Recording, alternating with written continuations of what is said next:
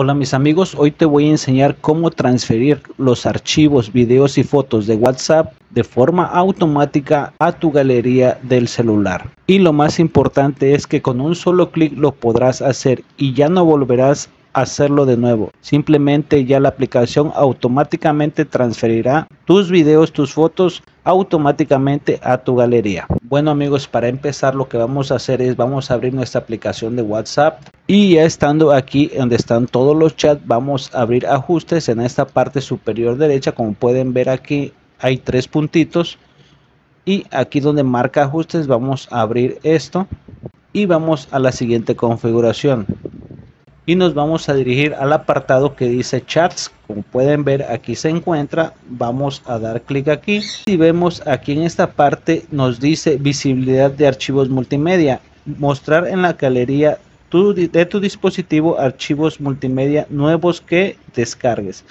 O sea qué pasa si nosotros desactivamos esta opción lo que pasa es que nos van a enviar archivos, videos, fotos y solo quedarán dentro de la aplicación de WhatsApp. Pero si nosotros activamos esta opción, lo que pasará es que cuando tengamos archivos multimedia que nos manden a nuestro WhatsApp, automáticamente pasarán a la galería de nuestro celular, como se los voy a mostrar ahorita.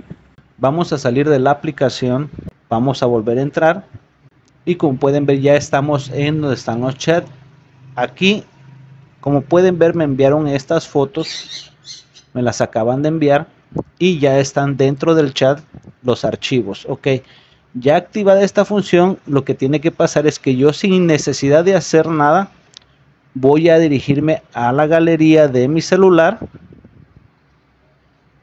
Y como pueden ver, aquí me marca una opción que dice WhatsApp Imágenes. Automáticamente se abrió una carpeta especialmente para estos archivos en mi galería o, como un álbum aparte, pero si ustedes le dan clic se encuentran todos los archivos sin tener que yo pasarlos manualmente. Simplemente activando esa opción los archivos se pasan en automático. Ahora, esta información es muy importante porque si tú en dado caso que borres los archivos que tienes directamente en tu WhatsApp, si tú los borras, se borrarán también de tu galería. Esa es la única conveniencia que tiene esta opción.